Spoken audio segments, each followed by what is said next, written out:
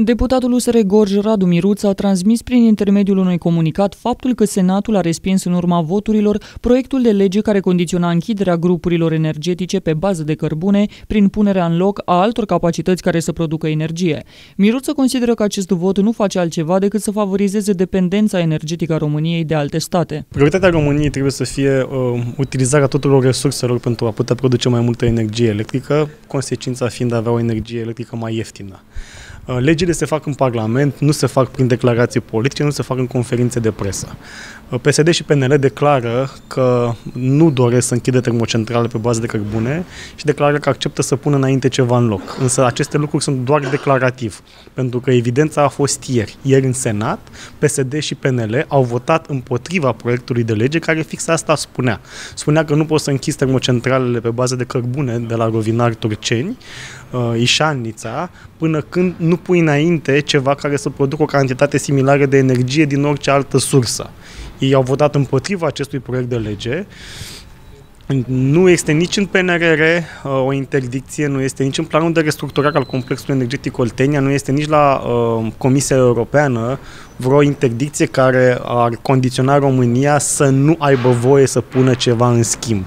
Deci aceste condiții spun că până în 2032 trebuie scoase capacități care poluează treptat, însă nu opresc România să nu pună ceva în schimb. Este doar o scuză a neputinței și este din nou o mare mizerie pe care cei din actuala coaliție au făcut-o împotriva mineritului. Inițiativa legislativă a intrat la dezbateri cu rapoarte de respingere pentru care au votat 57 de senatori. 19 senatori au votat împotriva raportului de respingere, iar 11 senatori s-au abținut.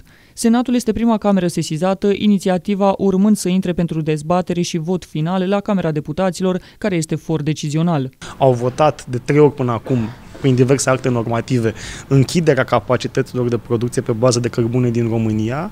Uh, n-am reușit să mă țin atunci la ei, am venit cu un proiect de lege care măcar să condiționeze închiderea de punerea înainte ceva în schimb în fața evidenței și a dat arama pe față încă o dată și erau votat să închidă turceni rovinari grupurile energetice fără să-și asume prin lege să pună înainte ceva în schimb.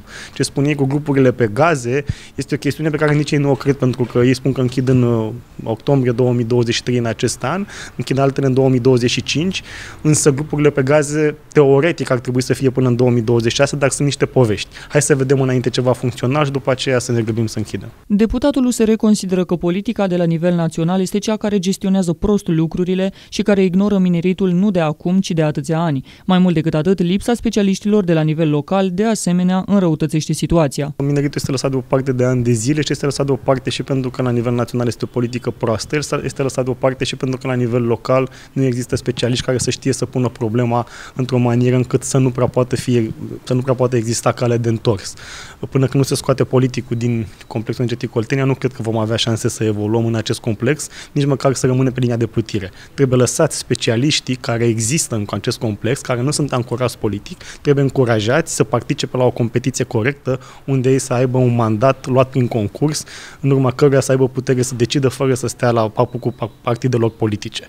Nu se dorește acest lucru. Am văzut că săptămâna trecută mandatul celor din Consiliul de Supraveghere, aceiași oameni care au fost responsabili când a fost uh, accidentul de la Jilz, au fost premiați, mandatul fiind prelungit prin PIX fără niciun concurs. Pare că asta e dorința în continuare, așa cum a fost de 30 de ani.